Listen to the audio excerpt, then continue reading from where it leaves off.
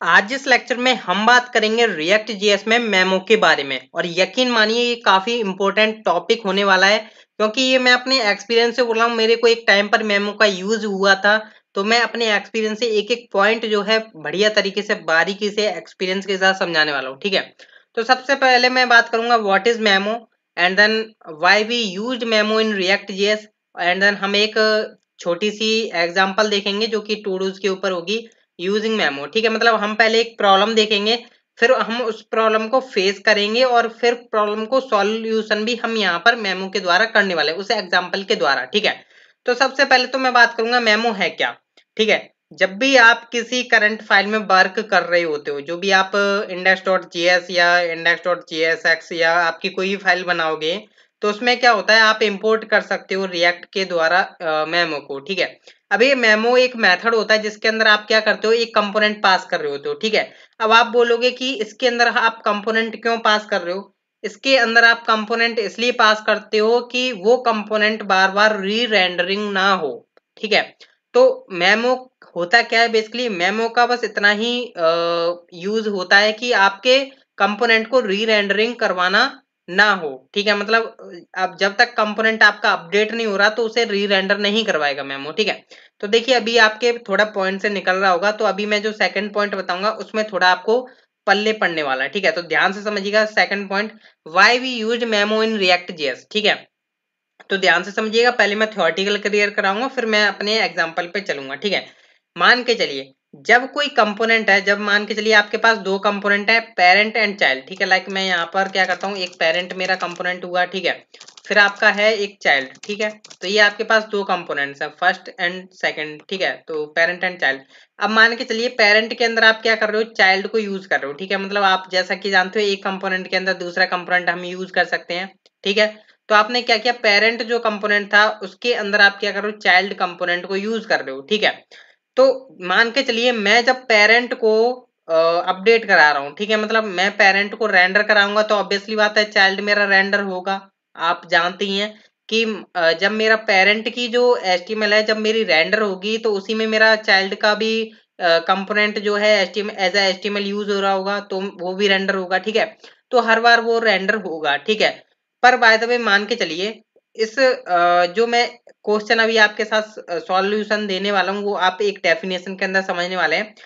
तो जब कोई कंपोनेंट जब कोई कंपोनेंट बार बार रेंडर हो रहा है, मान के चलिए पेरेंट के अंदर चाइल्ड वाला जो कंपोनेंट है रेंडर हो रहा है बार बार हालाँकि मैं पेरेंट के अंदर चेंज कर रहा हूँ, पर चाइल्ड वाला अपने आप री रेंडर हो रहा है, ठीक है? तो इसी की डेफिनेशन समझिए, जब कोई कंपोनेंट बार बार रेंडर हो रहा है, जिसे हम क्या बोलते हैं री रेंडरिंग ठीक है? मतलब कोई भी कंपोनेंट बार बार री रेंडर हो रहा है तो उसे हम बोलते हैं री रेंडरिंग ठीक है? और वो भी उसके बिना प्रॉप्स चेंज हुए लाइक मान के चलिए, आप पेरेंट यूज़ कर रहे हो, ठीक है? पेरेंट तो आपका रेंडर होना ही है, क्योंकि आप पेरेंट को यूज़ कर रहे हो, पर उसके अंदर जब आप चाइल्ड को यूज़ कर रहे हो तो वो भी री रेंडर हो रहा है, पर आप तो ये चाहोगे ना कि चाइल्ड के अंदर जब कुछ चेंजेस हो, तभी वो अपडेट हो, ठीक है? मतलब तभी वो रेंडर हो, वरना वो क्यों रेंडर हो, ठीक है? हालाँकि हम पेरेंट को रेंडर करा रहे हैं, पर चाइल्ड वाला हमारा तभी रेंडर हो जब उसके अंदर कुछ चेंजमेंट हो, ठीक है?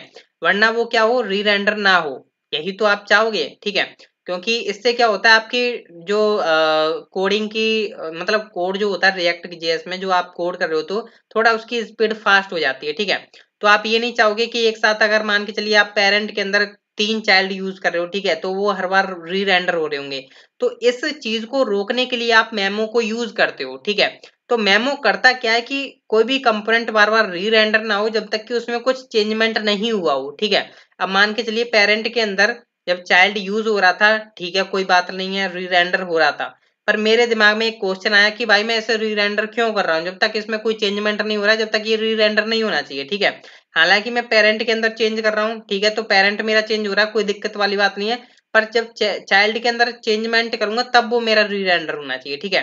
तो ये मेमो क्या करता है? ये इस चीज़ को रोक देता है कि री रेंडर ना हो, ये री रेंडर तभी हो, तब उसके अंदर कुछ चेंजमेंट हो, ठीक है?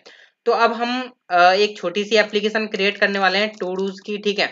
तो आई होप अभी आपको समझ में आया होगा कि मेमो का हम यूज़ क्यों कर रहे हैं थियोरटिकली कि जब कोई रेंडर हो रहा है री रेंडरिंग हो रहा है, कोई कंपोनेंट और अगर आप चाहते हो कि जब तक उसमें कोई अपडेट नहीं हो रहा है उस कंपोनेंट में, जब तक वो री रेंडर ना हो, ठीक है तो उस केस को फॉलो करने के लिए, उस प्रॉब्लम का सॉल्यूशन जो है मेमो के द्वारा ही किया जाता है, ठीक है?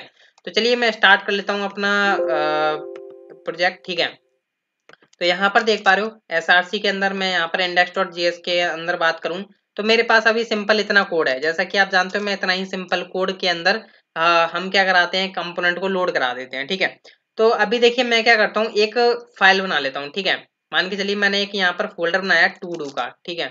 तो मैं यहाँ पे टू डू नाम का एक फोल्डर बना लेता हूँ जिसमें क्या है टू डू टू डूज नाम का एक कंपोनेंट रखा हुआ है ठीक है? मान के चलिए ठीक है?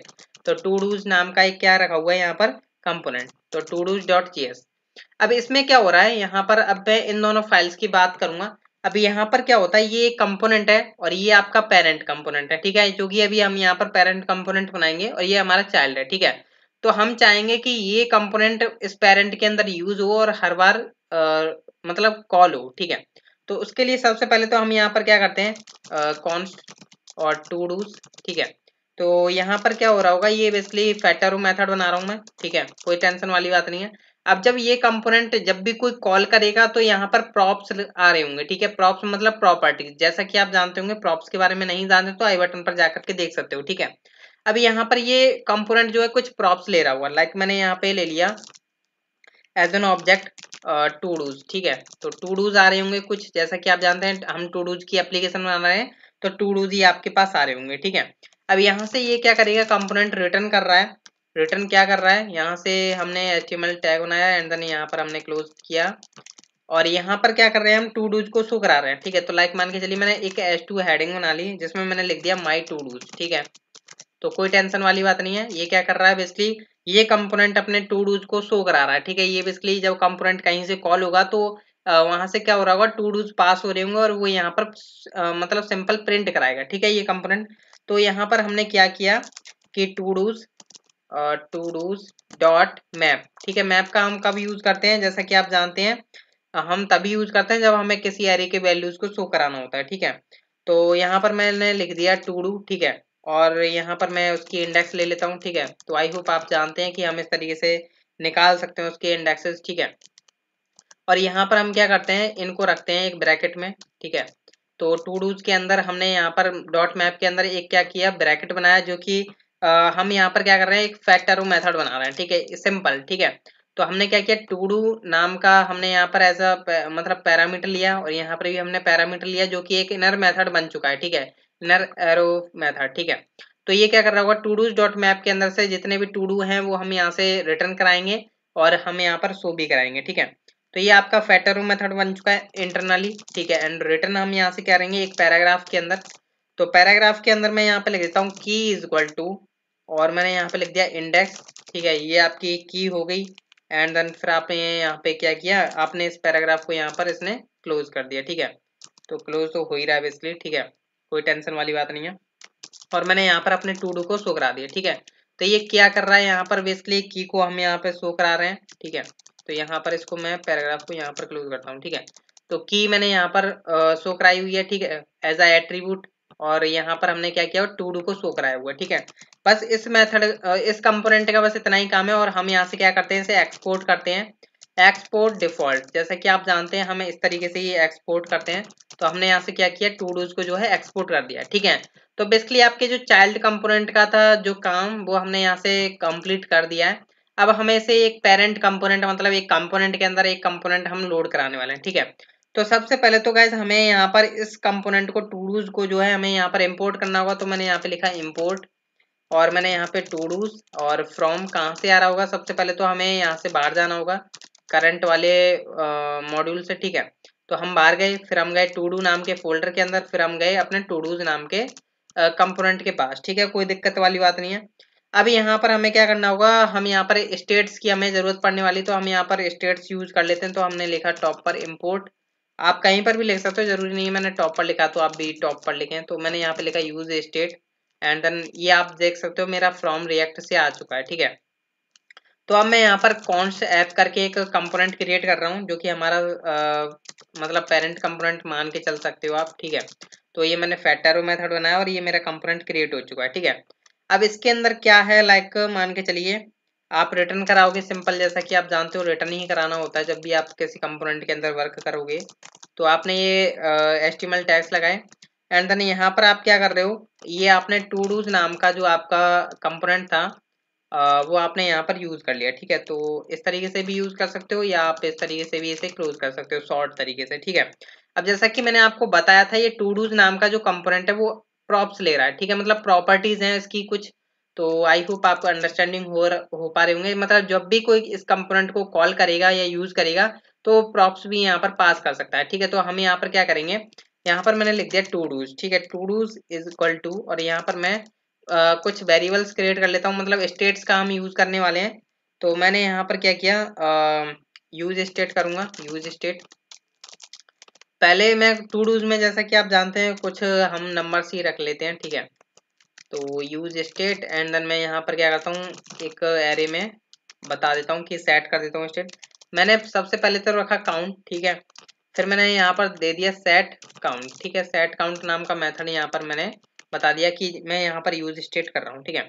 And then second one is आपका सेम है चीज़, मैं एक और स्टेट यूज़ करूँगा, ठीक है? टू डूज के लिए, ठीक है? तो todos comma and then set todos ठीक है? तो मैंने इस तरीके से यूज़ किया हुआ है। फिर मैं यहाँ पर यूज़ स्टेट कर रहा हूँ। अगेन मैंने यहाँ पर यूज़ स्टेट किया। अब यहाँ पर क्या हो रहा होगा? बेसिकली एक कैरे के अंदर यहाँ पर क्या हो रहा होगा? डेटा जा रहा होगा, ठीक है? तभी तो यहाँ पर डेटा जाएगा, तभी तो यहाँ पर प्रिंट होगा। एक एरे टू डूज नाम का जो एरे ले रहा होगा बेसिकली ये एज अ पैरामीटर ठीक है? फिर यहाँ से हमने मैप किया तो एक एक एरे को यहाँ पर प्रिंट करा देगा, उसकी की एंड वैल्यू ठीक है?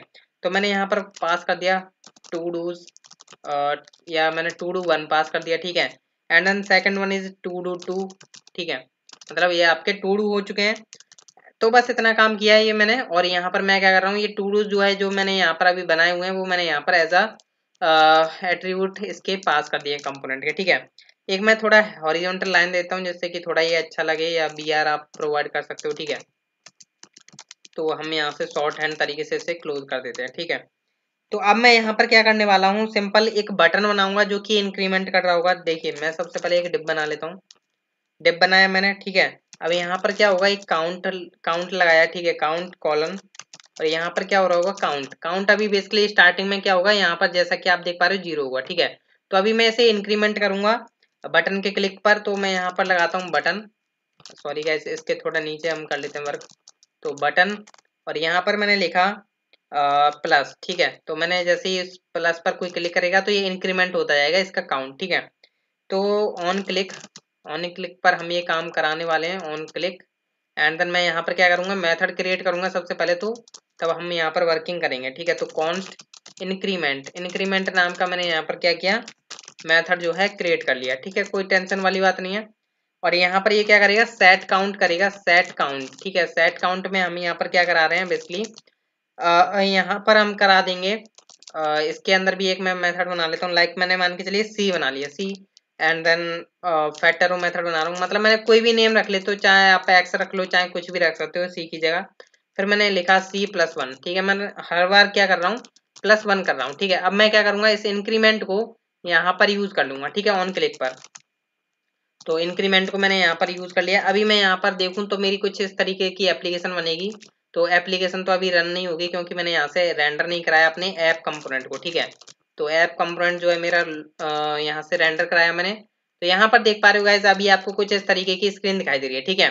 तो यहाँ पर ये क्या है, ये आपका चाइल्ड कंपोनेंट है जो कि आपको यहाँ पर दिखाई दे रहा है, जो कि एक कंपोनेंट के अंदर एक कंपोनेंट हम यूज़ कर रहे हैं। तो आई होप आप अंडरस्टैंडिंग हो पा रहे होंगे ये वाला, ठीक है? तो आई होप आपको दिखाई दे रहा है, ठीक है? फ़र्स्ट आपका कंपोनेंट चल रहा है फ़र्स्ट वाला, ठीक है? जो चाइल्ड हमने बनाया अब देखिए, जैसे मैं यहाँ पर प्लस प्लस क्लिक करता हूँ तो यहाँ पर ये काउंट हो रहा है, ठीक है? अब गाइज़ आपको यहाँ पर मेमो का यूज़ बताने वाला हूँ, ठीक है? मतलब अभी प्रॉब्लम क्या है, इस कंपोनेंट मतलब इस एग्ज़ाम्पल के अंदर प्रॉब्लम क्या है? लाइक like मैं यहाँ पर इंस्पेक्ट करता हूँ, ठीक है? तो ध्यान से समझिएगा, जैसा कि मैंने आपको बताया कंपोनेंट री रेंडरिंग नहीं होना चाहिए, ठीक है?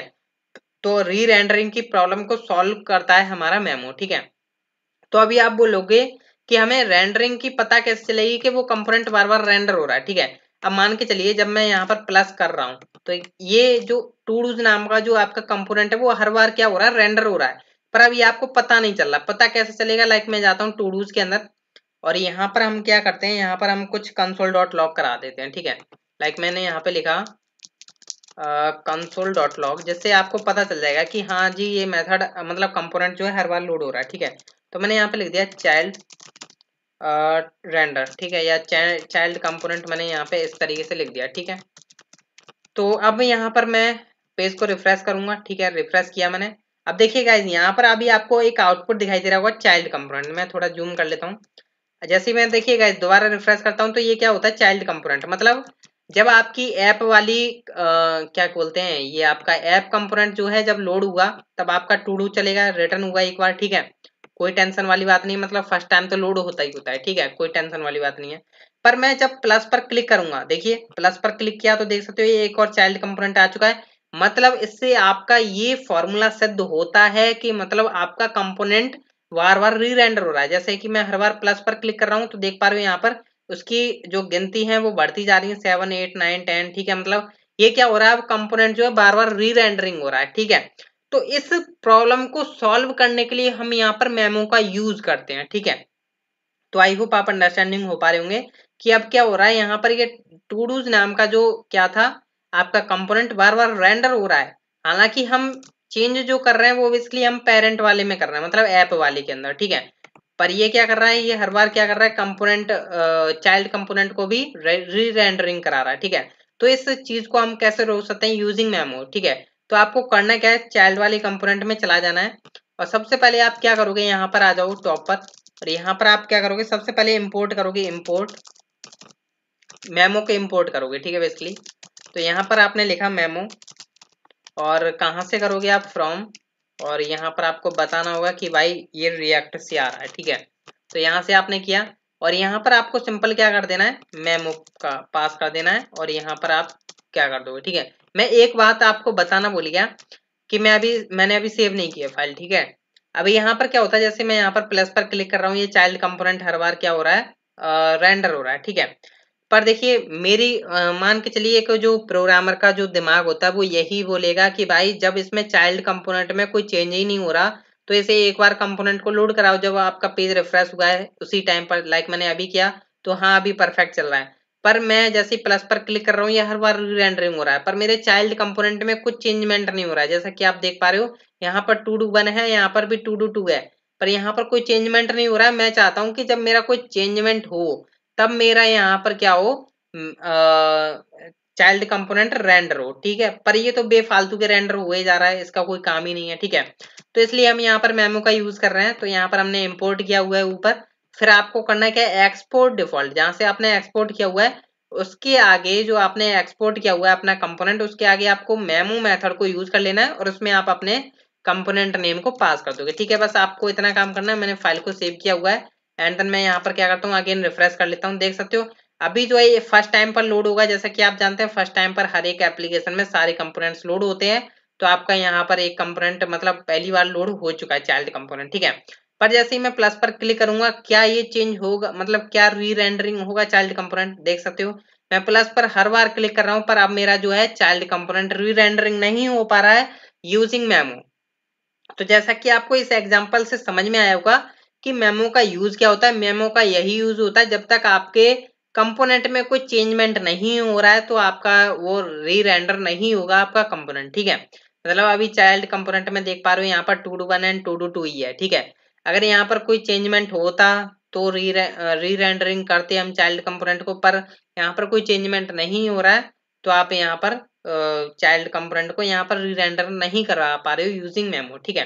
तो ये क्या करता है, आपके कोड को थोड़ा एफिशिएंट करता है, थोड़ा फास्ट करता है कि आपका थोड़ा फास्ट लोड हो, ठीक है?